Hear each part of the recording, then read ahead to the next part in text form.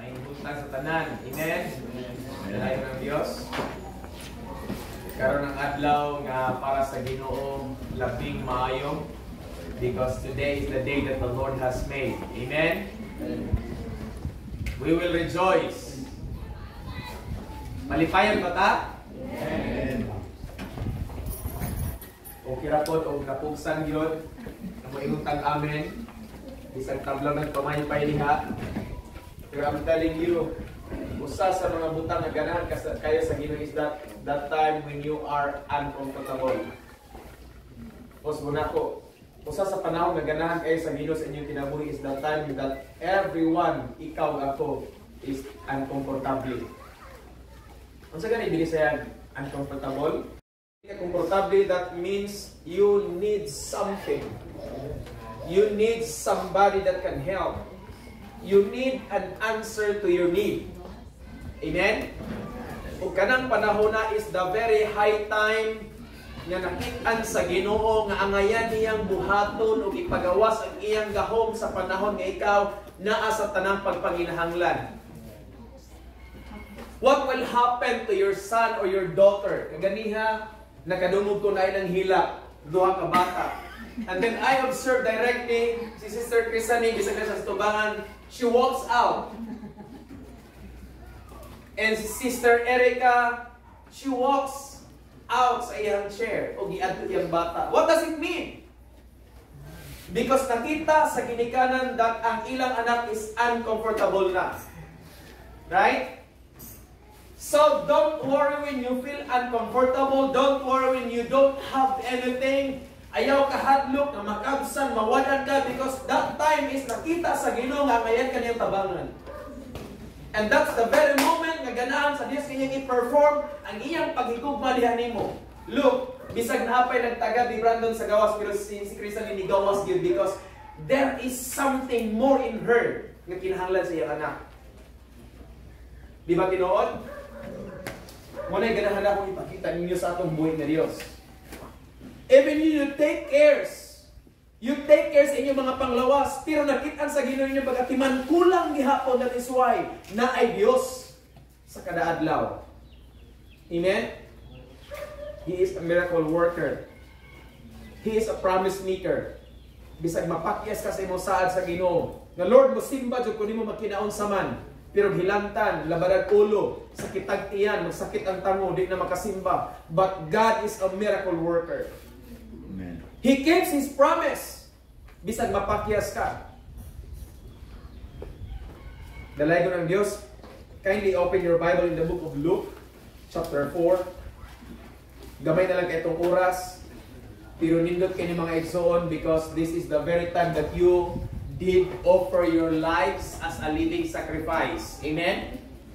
You need to sometimes do the sacrifice thing para sa Ginoo.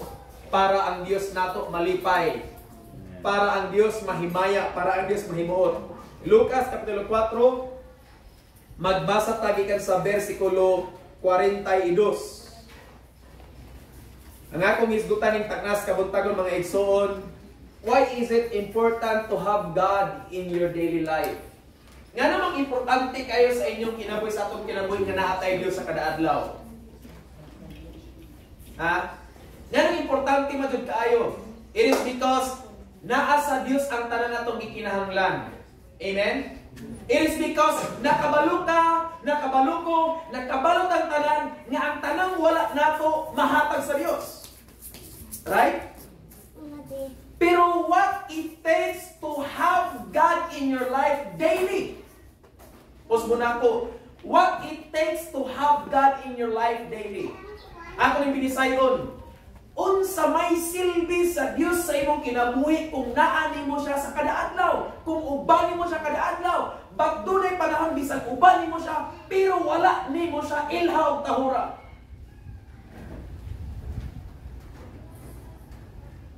Ngayon kung baba kong panahon, pero ganun kong may isang na ma-share natin it is because this is what God showed to me. Nga dili na karon kinahanglan nga kita mga kaigsunan, kita mga Kristohanon, kada bitaw murag wala lang paki sa pagsimba niya sa Ginoo. I want you to give value sa mga pagsimba. Kay nakabalong ta kita ang mga ginikan kamutanan, nakabalo mo nga dunay mga panahon nga inyong mga anak naamo, naa sila, pero dunay mga panahon ang inyong mga anak dili mo ila ninyo ug dili mo tawag gani sa inyong sugo. And it's the same thing nimo ug nako karon nga naatay Dios nga amahan. Doon ay mga panahon doon sitwasyon na ganahan ta nga ubanan sa Dios sige. Ganahan ta nga ang Dios naa kanunay sige. Every time we call, pero wala nato kahura og buhat ang iyang kagustuhan. This is why what it takes to have God daily in your life. Ayaw ang panganduya nga na ang Diyos kada adlaw sa imong kinabuhi aron matagaan kasi imong kinahanglan. But panganduya ang Diyos nga nasa imong kinabuhi. It is because it is your great opportunity to serve Him. Amen? Mudawat mo sa madili, but time will come nga kamong mga anak dili na mo makaserbisyo sa inyong mga ginikanan.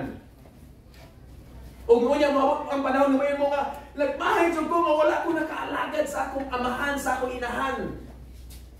This is your opportunity to serve your Father in heaven. Nga mapakita sa nato ngadto sa atong amahan naghigugma pud nato siya. Amen. Kung sa isulti sa pulong sa Ginoo sa John chapter 15, if you love me, gihigugma ba ginato ang Dios? Tulor may ko nadunggan. Gihigugma ba ginato ang Dios? Amen. Then why sometimes we don't keep His commandments? When God says you pray, ngano kita magampo? You praise, ngano kita magdive? You worship me, ngano kita magsimba sa Dios? And you obey me, tahura ko ninyo, ngano kita na tahuron? Nga in fact, ngayon ta, gihigugma na to ang Dios. Luke chapter 4, verse 42, naging ang pulong sa Dios. And when it was day, he departed and went into the desert place. I praise the Lord. Gitouch atong worship leader ganiha. One of the places nga ganahan kaayo sa Dios is kaning disyerto. And one of the place that God allows His people to experience and to go, in fact, is in the desert place. And why is it? Ganong gihimo o tugutan ni sa Ginoo sa Old Testament, sa New Testament, nato karon. Some of us, wala man siguro talaga ato mga disyerto nga mga dapit, but many of us experience desert situation. Amen? Nagsakit ka, nagbalapian ka, you praise God, pero nakabalo ka na wala pa ka na ayo. Amen? That is somehow desert in your life. Naglakaw ka, busog pa ka, wala pa kay gutom, but you are walking in scarcity. Naglakaw ta, nga wala tay kwarta, nabuhi ta, nanginabuhi ta, bisag wala tay trabaho, pero naglakaw ta, but we still praise the Lord. Sometimes we tend to pretend ourselves nga okay ra ta, but you need God daily in your life. And what it takes to have God daily in your life. Ningon ang pulong sa Ginoo sa Lucas. By the way, ang Lucas chapter 4, ang end ng mga verses, this is after the time wherein si Jesus ni adto sa usa ka dapit ug nakita niya ang tanang daghan kay mga tao, ang mga tao nagdasok, nagduot, duol niya because nakabalo sila nga nindot kay kada adlaw kauban nila ang Dios. Di ba pareha ko na sa tunggi pangandoy? Lamig kay paminaw ang kauban nato ang Dios. Amen. Walay kalahian sa mga tao in chapter 4 of the book of Luke. Nga ganahan kay mga tao magkuy-kuy ko ba ni Kristo Jesus? Pero noon ay panahon nila si Kristo Jesus, niadto siya sa disyerto. Why God intended to go in the desert? Why? Ayaw mong pangisog mga Exxon because I want to talk to you right away. Nining bahina. Ang mga rason nga nung nananoy si Jesus nga mo siya sa desert, sa desert. Ako sa basahan pa dayon. Niyon sa pag-istorya, He went into the desert place and the people sought Him. Kinsay nangita sa Dios kanunay? Amen? What it takes to have God daily in your life. Ang mga tao nangita sa Dios kanunay. Ningon ang pulong sa Ginoo nga kanunay itong ginabarugan. Call unto me. That calling unto the Lord is seeking God. Amen? Ang pagtawag nato sa Ginoo mao ang pagpangita sa Dios. Di ba? Dili mo pasabot bisag naray mong inahan, naray mong amahan, unya nara mo kagatapad, pero dili mo pasabot nga na ka mo tawag sa imong amahan, sa imong inahan because you seek something nga dili nimo mabuhat, dili nimo mahimo, dili nimo makuha naa sa imong ginikanan. That is why you need to seek the Lord. Amen? Pero atong makatlagan mga igsoon nga si Ginoong Hesus ni adto sa awaaw nga dapit. Ang tanan maingon awaaw. Mingaw gyud. Amen? Ang tanan maingon pigado gyud. Amen. Hallelujah. I praise the Lord. Kani ako ra ko ihatag nga kadaogan og kalingawan pero I don't know say take ni Brad Charlie ani. Kay many a times nasa kanding dire. Di ba? ako may balok sa tanan. Nasa kanding dire nga among yatiman. Onya many a times rin siya ato na ni ihawon. Di ba? Ihawon na to ni, karong malabot pa, ihawon na to ni, ihawon na to ni. Then, nakaala ko nga, sige, ihawon ni. Una na ko, ihawon ni. Eh, ihawon din ka ni Brad Charlie. So, sa sigong taga, sigong tagad, there was a time na, ako siyang birahon, gay kayo og. Kasi na, ulo ba na, o liog, basta kay gay kayo. Di, kini mo matala niya, og magkumpiyansa ka, magkalit ka siyang dalagan o iyaha. Ko nga, sakripisyo ko ning kandinga. So, sigong bira, nakita na ko iyang pagpagahi. Pero I praise the Lord because every time na I do the sacrifice, ilawig siya, uhaon siya, paimnon siya, pasilungan siya, every time I do the sacrifice, and this day, kagahapon lang ito, salamat Lord. Nangita ni butok na kanding. I believe five, na, five months from now, makapanganak ng kadinga. so, kaya kung ating na ni maidaw. Mga plus naman. Postpone. So, postpone ang pag-ihaw sa kanding. Oh, salamat sa Ginoo. And I praise God for that. What is my point is that beyond your sacrifice, every sakripisyo nga imong buhaton sa imong kinabuhi, that even sometimes di ka makasabot nga anong ingon ani ka gahi ang ulo aning kadinga, pero God is leading you in a time of sacrificial moment for you to see that ahead of time na ipanalangin. Jesus went into the desert nga kay kung ang anong ni adto man siya sa desierto nga one of the greatest intention ni Jesus is to preach the gospel. Di ba? Mamangin tuyo sa Dios. Muadto siya sa mga dapat aron pagbuhay sa mga balita. Na unsa may nasulod siya una-una nganong muadto sa desierto. Nakita may ganang mo desierto. Amo, Servers, kita ko juga desierto. Kung sabi nas desierto. Di ba? Wala gid taong ganahan mo uyog desierto siguro. Naaman siguro sila ginatuko dito nga mga balay-balay pero wa gid taong nga ganahan mo pundo dito all day for the good. Ilang adto ang bisitahan kay moabot ang kanang lahi ilang storm. Kay dili pa sa to ang storm nga ulan ug tubig ilaha kay sand storm. No?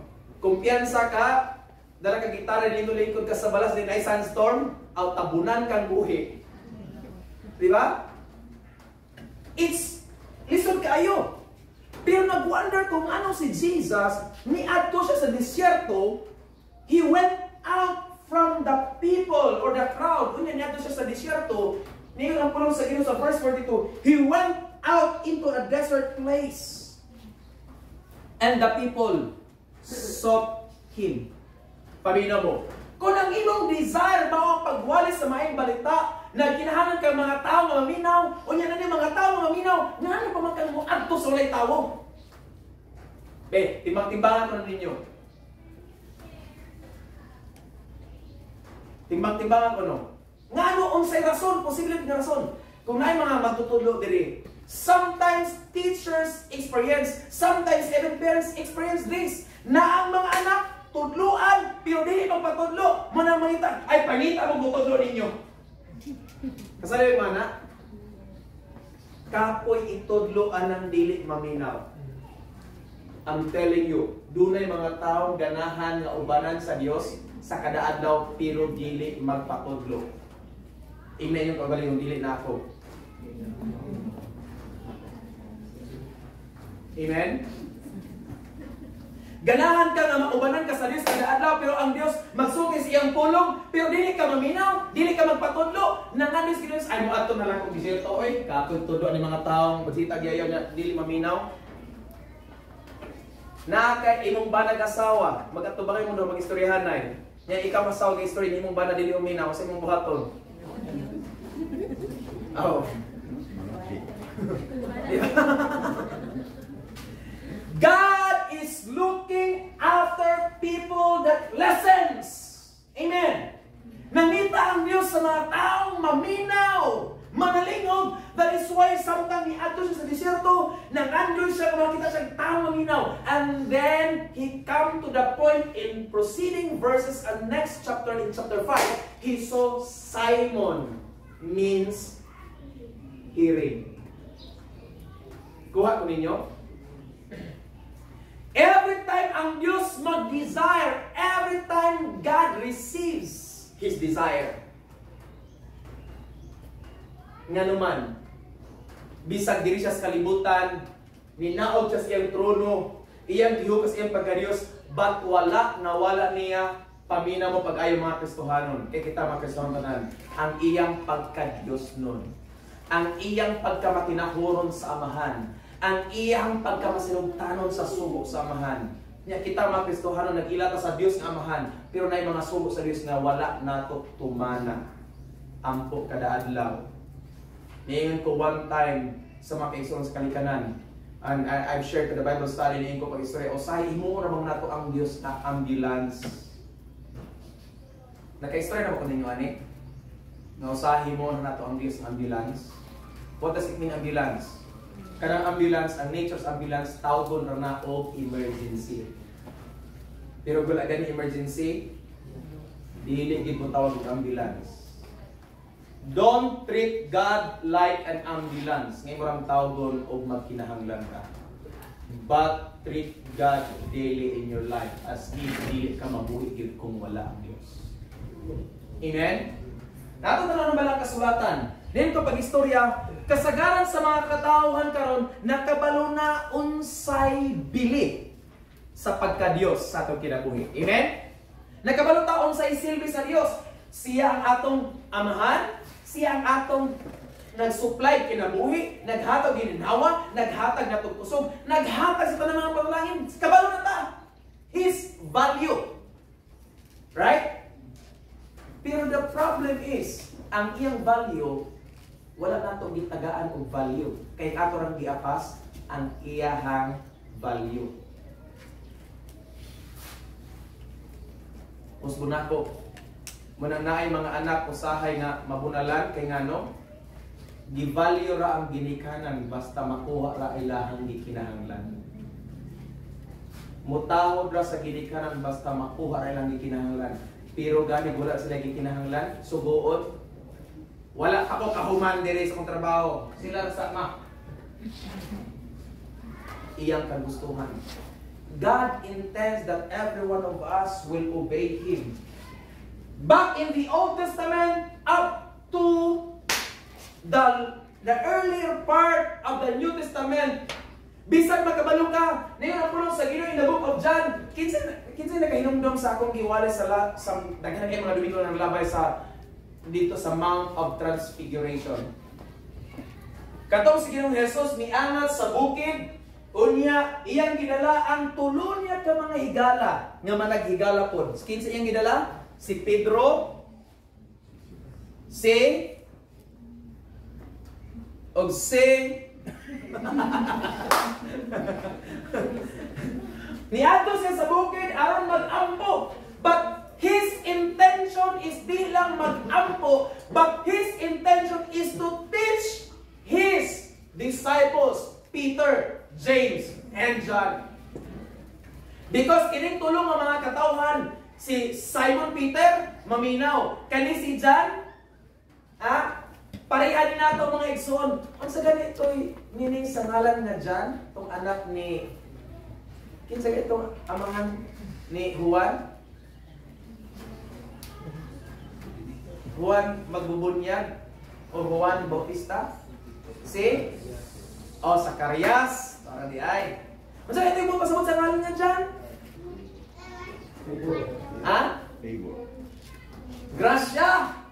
Favor! Kaning tulong ang mga tao, si Santiago, si Juan, o si Pedro, these are the favorite situations sa Dios. Kaya kita, mga kasama, nagkinabuta diha sa grasya, nagkinabuta nga kinahanglang maminaw, o nagkinabuta diha sa being offered unto the Lord. God-given. Karon, pag-abot niya sa mga transfiguration, sa dihang nag-ambo si Jesus may sa bukid, unsay na itabo gani? Unsay na itabo? Wala wala man to. ah, wala na ikot balong. wala magkukwato. Pag abot niya sa bukid, nag-ambo siya, dunay pangalan gani kunsad o dunay duha ka mga tawo nga nipakita sa iyang isip kakilid. Kinsa ganito? Si Moises o si Elias. And the Bible declares that Moses is the lawgiver and Elijah represents all the prophets. That these two, the law and the prophets, is the picture of Old Testament. Nga kung inyong pamalandungan pag ay mga igsoon, the first five books nga gitawag og Pentateuch, Genesis, Exodus, Leviticus, Numbers, Deuteronomy, gitawag siyang Pentateuch, kaning mga libruha nag-cover ni siya sa tanang laws. Social, civil, marital, tanang-tanan laws. And after Deuteronomy, ito, Genesis, Exodus, Leviticus, Numeros, Deuteronomio, Josue, atong gisgutan sa milabay na Domingo. Josue, Judges, Ruth, Tanan, Esther, Israel, Nehemiah, and so on, Malakay. These are gitawag og prophets. Prophecies. Gikan ni Joshua, nga gisaaran nga pasudlog sa Kanaan, it was prophesied that Israel will have to live in Canaan. So, pag abot dito sa Mount of Transfiguration, gipakita sa Ginoo ang panghitabo.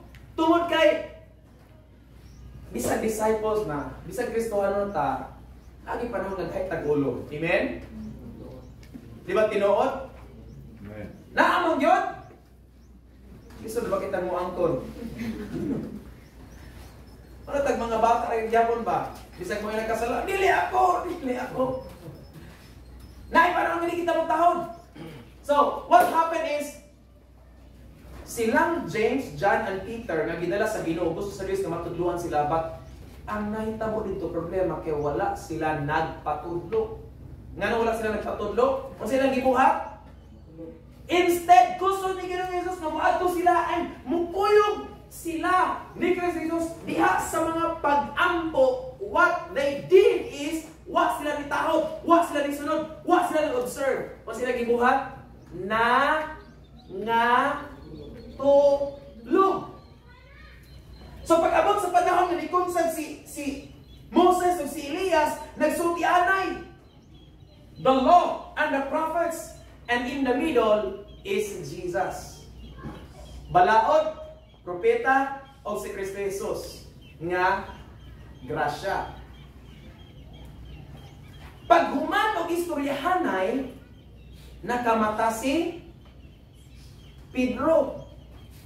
Pagkamata ni Pedro niya si Pedro, ang mas maayo ginoo nga naata dinhi maghimo tao Unsay gi unsa bala kasulatan? Maghimo tag balong-balong, maghimo tag payag. Now, ganahan ko mga igsoon nga masabta nato ni maghimo tag payag because payag is simply sa atong kinabuhi. Mura siya, ningon ang barang kasulatan, pinagi niya Apostol Pablo, nga imong lawas, ang imong pagkatao na lawas ka lang espiritu. Your spirit is from the Lord and also your soul. Tanan gikan sa Ginoo. But your spirit and your flesh is being trapped inside this kaning lawas na sulod na trap. So ang gusto sa Ginoo nga kining tibuok na tong pagkatao mo ilagid sa Dios. Karon natulog man wala nagpatudlo, nangatulog. Naingon si Pedro pagmata niya, ah, mas mayo Ginoo nga naa ni kay maghimutag payag o sa alam kang Mo, Moses, o sa alam kang Eli, o sa alam ka nimo. Now what does it mean? Gisulti ang balang kasulatan nga maghimutag payag kay because kaning payag nagsulti ko magdamag kag payag unsa may kasagaran mong buhaton sa payag na kay balay, di ba? Siyempre na magiging balay niya, magdamag pa kag payag. Kung sa may imong ganahan, anong maghimo ka kag payag doon? Ha? Pahuway-huwayan, pahulay-hulayan, pa pahayahay. Oh. Na no? Gitawag na siya mga resting sessions, resting place, tanan-tanan.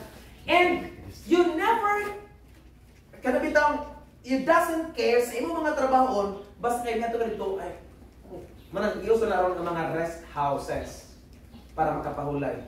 Pero ang intention sa Ginoo matudluan silang Pedro dito aron sila makabalo kung unsa gid ang angay ikinabuhi sa Kristohanong kinabuhi. So, mubalik diri sa Lucas kapitulo 4. Ni ato si Hesus sa disyerto nga dapit, unya ang mga tao nangita kaniya.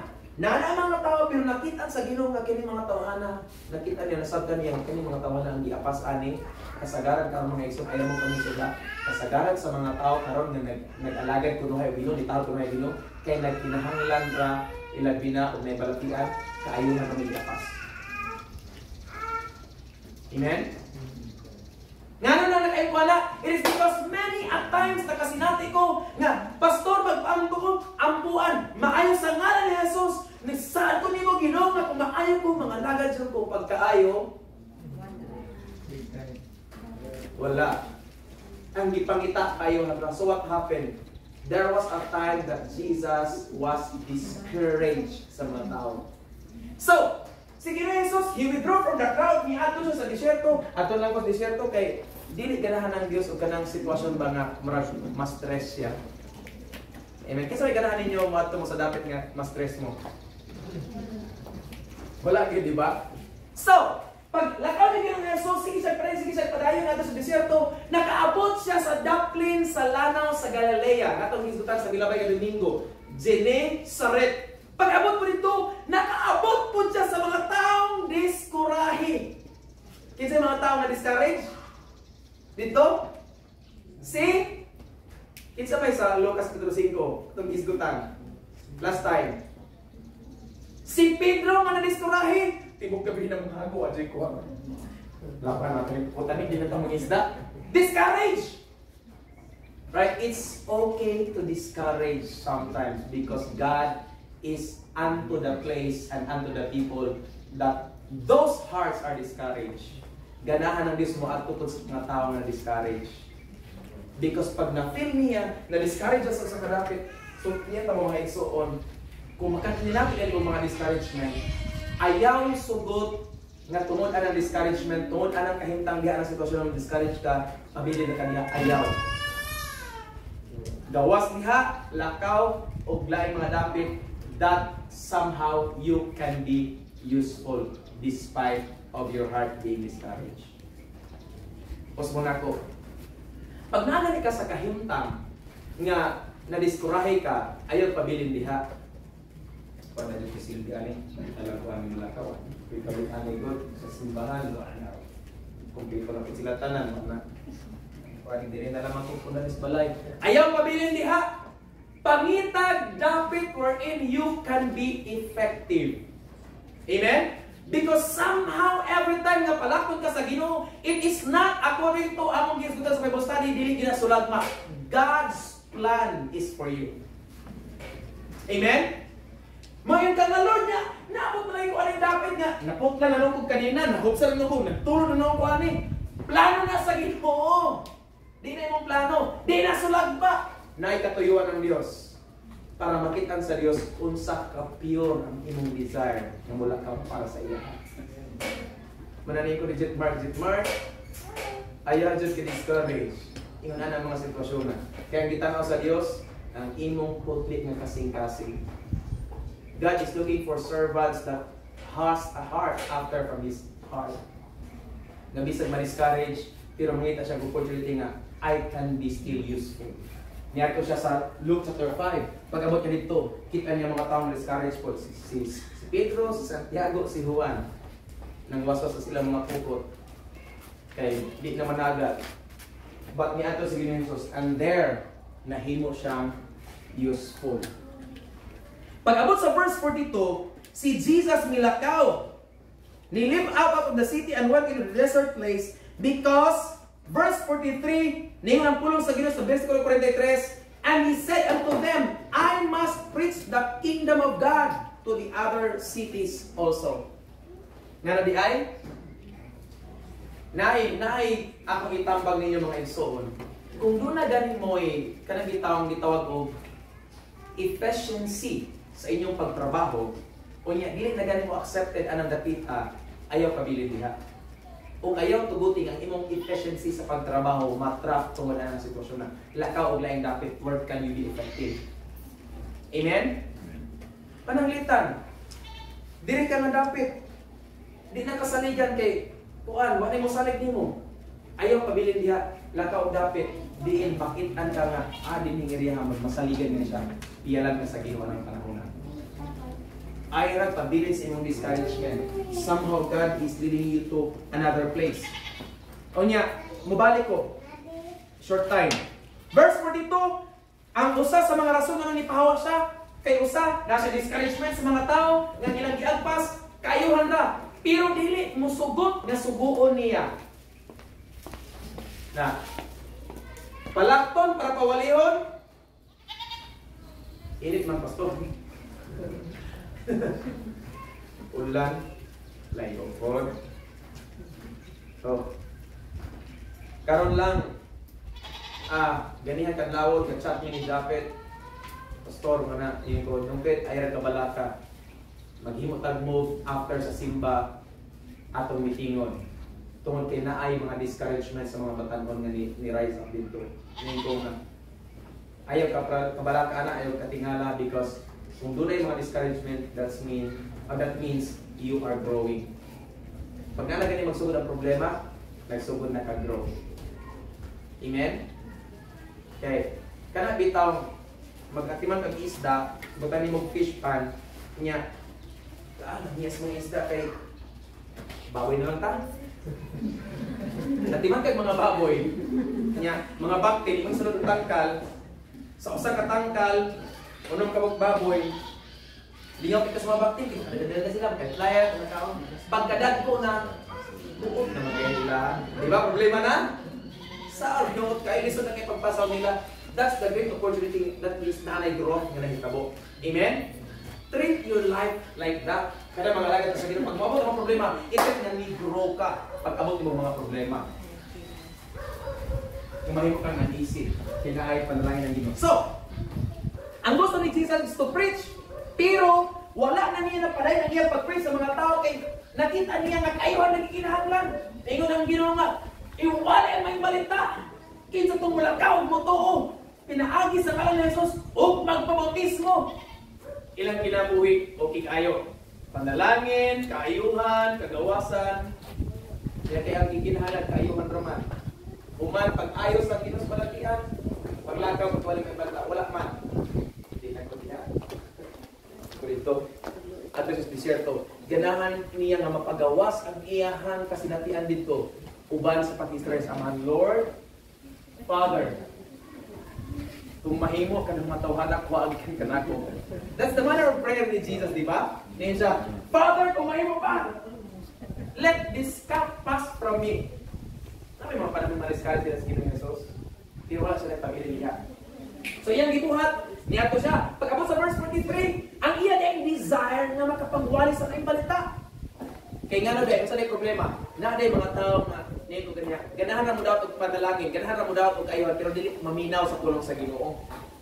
Napoy mga Kristohan nga, ganahan ra, pasala ko rin ha, ganahan kayong gamiton simbahan, Para sa bulaton sa Ginoo simbahan, nanilihig, tamburin, mo play sa instrument, mo hipo sa mga instrument, ganang mo paggamit diha sa ilang kaugalingon sa pagserbisyo sa Ginoo.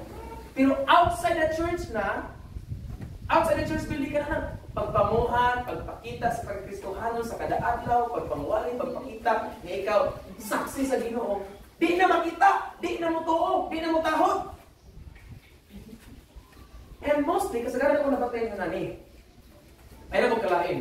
Na ay mga batang badlungon, o niya, niya na pa istorya na, kini mga batang badlungon, kung magpuyo sa laing balay, bukan man lagi. Kinsa na kasulayan na. Pero nas imong kat katungod sa nas imong balay, tap ah, tapulan. na yun. Tapulan. Pero kata sa laing balay. Gusto mo lagi manalig, ako mo lagi dito.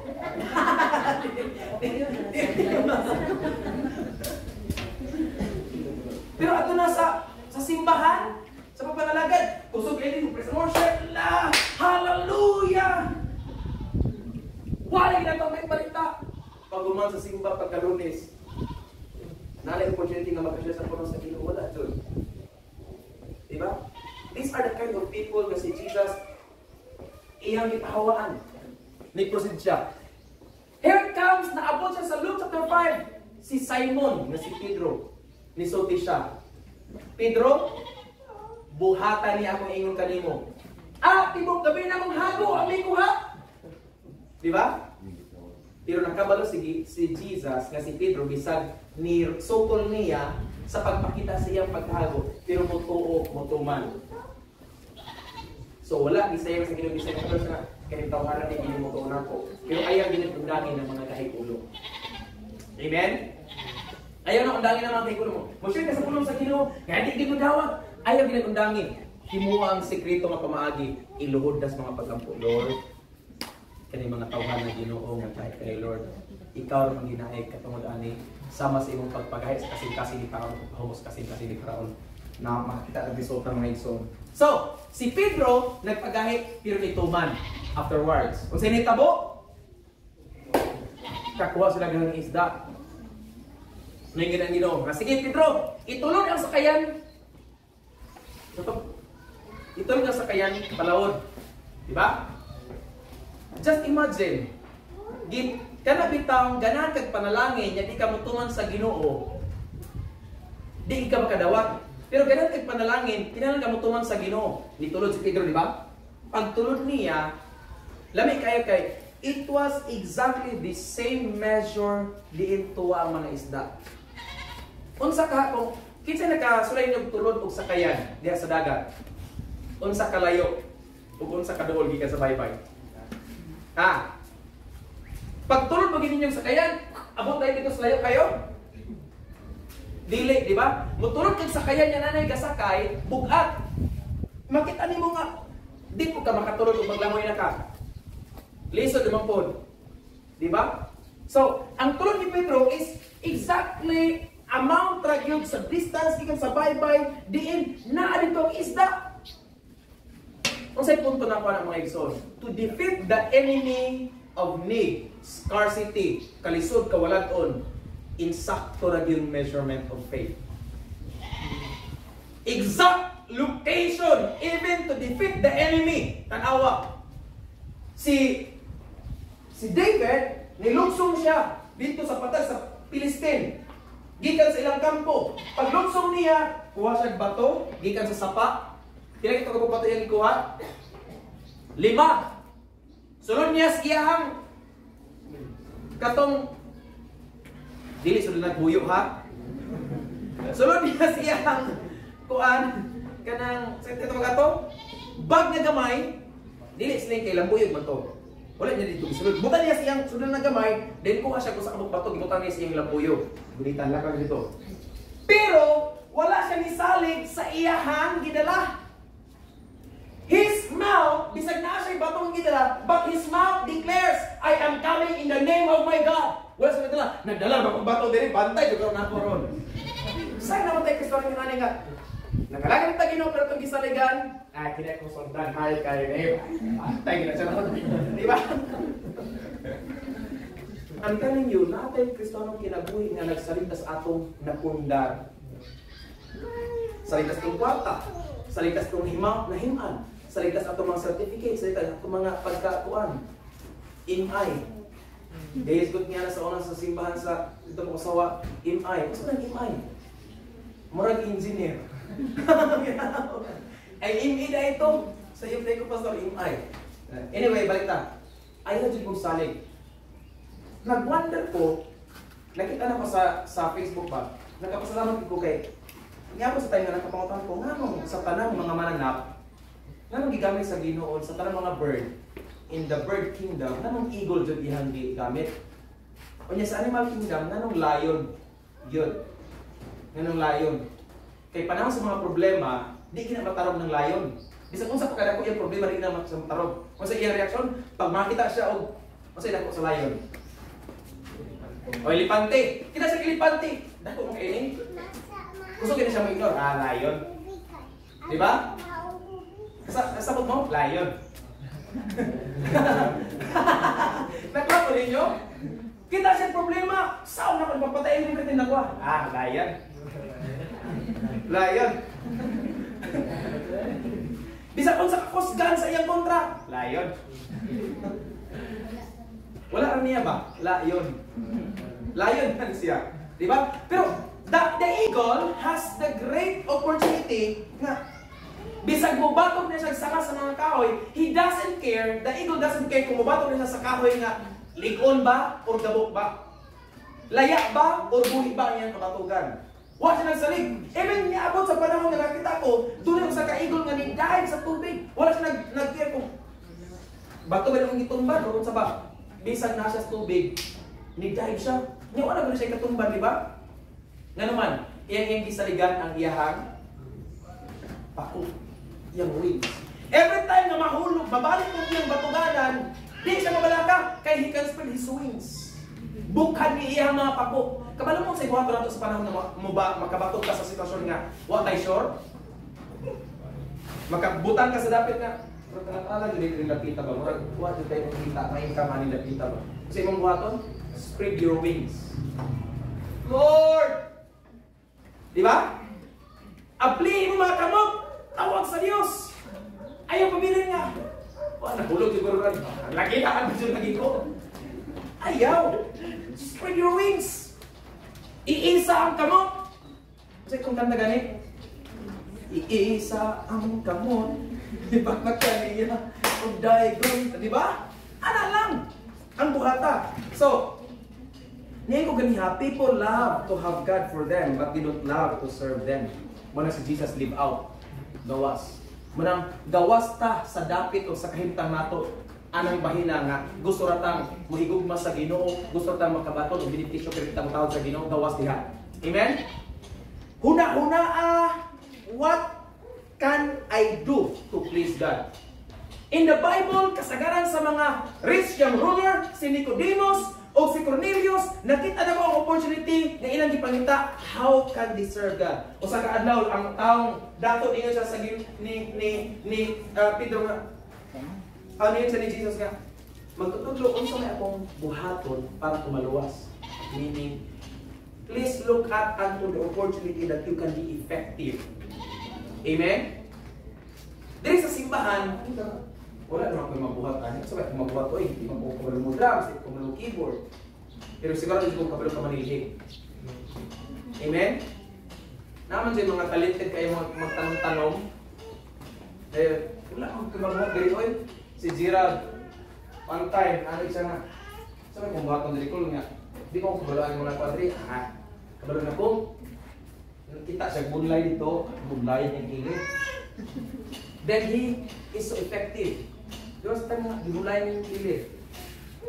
Nindot kayo opportunity. Kaya ako nakita sa kalikanan mo ilang gibuhat gahapon. Nagamit din sila. So, lastly, si Jesus, people's interest is healing, di ba? Sa chapter 4. Pero si Jesus, nakita niya nga, dili man recipient sa word. Ang ganang mo sa Ginoo, kanang kanang healing is just a plus kung mudawat ka sa word. Tapos po na ko. kita nga mga nagbalatian, kita nga nasa sakit o nagsakit nga mga kahimtang, ayaw nyo una-una o unaha ang kayuhan. Una-una unaha ang pulong sa Diyos nga matuman sa kinabuhi. Kay ang kayuhan is just a plus. Ngano, yung anak, sa diyang ang mga tao sa chapter 5, nagdasok. Unsay purpose sa mga tao? To hear His word. Right? To hear His word. Si Pedro sad, bisag wala sila ikuha, adto pong panahon nga daghang mga tao, unsa ang daghang kini mga tao? Ako ning panitan. Di ba? Mo na iya ha panitan ako. Paminaw ay kay sa may kasikas di ba? May ana beta dayon. So sometimes kani pagkamaritis, it works. Paminaw na kung sa nila kasikas. So naminaw si Pedro. Ay kay mo man di ay nagtudlo man si Jesus sa daplin sa baybay sa Gennesaret. Nya, sige ka pa doon mga tao, sige ka pa doon kay kana biya mag mag sulti ka niya dagit mga tao, di pinakabot imong tingog dito sa layo. Di ba? So sige, galuot mga tao, sige galuot. Sige nung Jesus, kung sige atras, galuot mga tao, atras ko dyan. Tubig naman! Lingin niya sa likod, na may sakayan. Lingon siya, tinsa may sakayan. Di pa nag ni Pedro. Pwede ba mong sakay? I'm telling you, si Jesus has the good, right manner. Nasa yung RC. Good manners and right conduct. Ang tiro na Kristohano na yung RC. Amen? Bisan paghihatag mananghid gyapon ka. Right? Bisan paghihatag mananghid gyapon ka. So ingon ani nahitabo. Ako na ni dindot kayo pagtiwason. Ako ni hatag nyo. Unsay inyong buhaton sa dihang na amoy kauban karon na dili kauban niyo sa pamilya. For example, ay bisita mo sa balay. Unsay imong buhaton kung na kay bisita? Oh, salamat. Bisita niyo niya. Ay, snakon. Okay. Dili man pwede nga ikaw gibisita sa mong balay kada adlaw, kada oras, tibok adlaw na gyud magatubang og yaw sa mong bisita. Di man pwede biyan sa mga trabaho. Ano sa imong buhaton anak? Ha? Let's do it practically before we end. Kasi atong buhaton. Imong buhaton para ma-feel nimo ang imong ug mapakita mo imong good manners and right conduct bisag na kay bisita mo iyan ka na ay excuse na naman ko'y trabaho niya di naman ko makatubang nimo pero ganahan ka pwede ko yung kaluha Gawin ka din. Kuyo ka? That is to have a good manners and right conduct. Do not leave out your visitors. Amen? Pareha ni Jesus. Si Jesus is gikan sa langit, ni bisita sa kalibutan. Ganahan sa ris kapag ari niya sa atong kalibutan, diin ta nagpuyo, kay bisita siya, ganahan siya nga makaplagan niya ang imong pagka good manners and right conduct.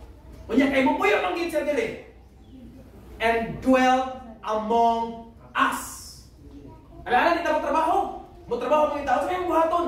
Dan as trabahoan ng Dios. Di ba, Brother Marlon? Dan as trabahoan ng Dios ay simbahan. Lord, salamat Ginoo nga nagkauban sa aling Domingo ha. Pag human sa simba, bili na kaniya Lord ha. Bili na kaniya kaya ito na ko. Dan as ang trabaho aling mga Diyos. Lord, uh, in Jesus name, Amen. Wala ka naman ni. Kuyog ta Lord. Di ba ganun tauhan na pang Diyos kanunay? As siya. O yes, tanay mong trabaho, ikauban siya. Lawit ka hindi, Nasaan ka? Iyo ko ato eh. I-appeal siya sa imong pagtrabaho. So that kung imo siyang tagaan o opportunity na makatrabaho nimo, it is his great opportunity that he can be effective. Just like Peter. Ngayon si Jesus, pasakay ako. Ngayon si Peter, sige sakay. Sa atong kinabuhi, ng anak dapat itong buhaton. Di kay ato yung pamalay, ay, diya ka lingkod na ka diya. Buri ko ba ng bisita, sige palingkod. Di ba? Kinsa ka sa kan bisita balay niya, sige kag balingkoro niya, gatrabaho na kadto niya. Di mong bisita wala na na timan nimo kay sige rin mo gipalingkod. Dad ah, alam ko yung ta. Maglungag ko ikaw buka. Ana ba? Allow God to participate sa imong kinabuhi.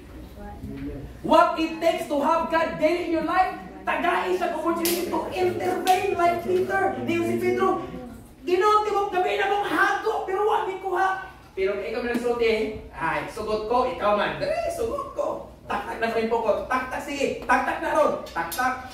Pag tak-tak, kuha. Na. Kung sa inyo tabo, pagkakuha sa, sa daging isda, bira sa Pedro, bira, bira, butang, bira. Dagan na kay Pedro. Lord, ayaw, eh, rabi, rabi, kaya ako na ni. Dagan kayo. Say, pag nakita ko na lang, hindi na po natin apil ang ginoo. Saan sa araw mga tao ginoo? Lord, kung mga nakikandi nga ginoo, mga nakikandi nga ihaw. Wala kong kapanagog-dugog. Decision ng Brad Charlie. mga nakik, ah, imuha dyan ni Ani, kanina Lord.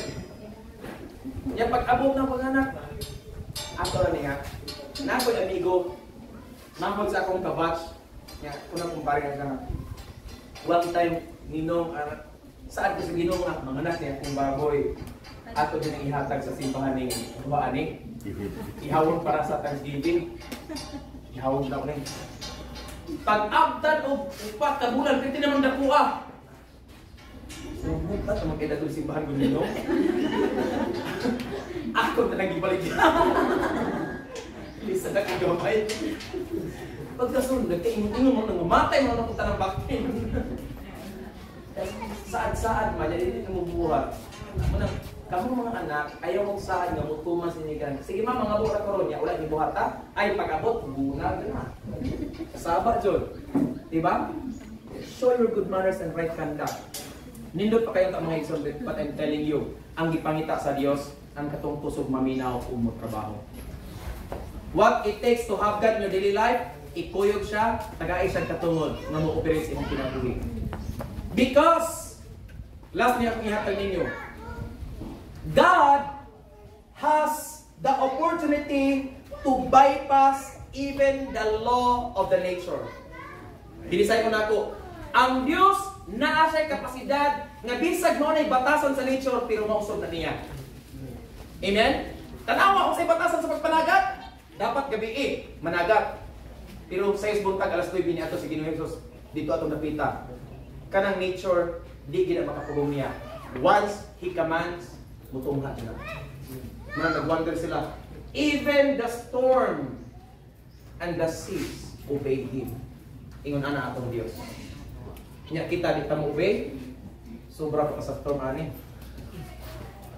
Sobra pa ta ka gahi anis bato bato gani inan kay sa Ginoo ang mga bato akong pasinggiton. Let's bow our head. Let's pray. Study more. Hallelujah. Sa ngalan mo o Dios, ipasidunggan ka namo Ginoo today. Nindot kay Ginoo imong mga pulong imong gihatag kanamo Father God. I pray Ginoo nga dili pinaagi sa sa akong eloquence o Dios dili pinaagi Ginoo sa akong nabatunan. I pray Ginoo nga pinaagi sa imong diho sa imong malang Espiritu Santo tagaig interes sa matag sa namo Ginoo nga makapamalandong, makatuon sa imong pulong o Dios aron na mahimo kami Ginoo nga equip Lord God sa tanang mga sitwasyon nangandoy kami Ginoo sa pagkasing-kasing nga makauban kanamo kung sa among kaparandoy Ginoo nga makauban kanamo we give you authority Lord God to take control sa tanang mga sitwasyon sa among kinabuhi Ginoo. During sa panahon sa mga balatian take control to heal. Sa panahon sa kalisod take control. Lord God sa tanang mga sitwasyon Ginoo Niingon kasi mo mga pulo. Do not be discouraged do not be dismayed for I am the Lord that will help you and uphold you with my righteous right hand. Salamat Ginoo ning kamutuhon. Ginoo despite sa kainis sa tanang Diyos but we still praise you Father God. Salamat Ginoo imong tudlon mo kasing-kasing to offer this life as a living sacrifice di kanimo Ginoo the time the effort and everything Ginoo among gihalal di kanimo Dios because after this time Ginoo sa diha makitan sa usa ka ginikanan iyang anak kani sakripisyo malipay siya iyang ihatag Ginoo iyang gikinahanglan ingon ana sa among mga pagtudi kanimo Ginoo nga nakita nimo Dios nga sa among mga sakripisyo para mga paghago gani nagsaad ka that our labor in the Lord is not in vain Salamat po Diyos, ni kabuntagon Ginoo. Gitugyan ako din kanimong tanang paghimay at pasidungog sa walay katapusan. Sa ngalan ni Christus Nazaret noon, I pray. Amen.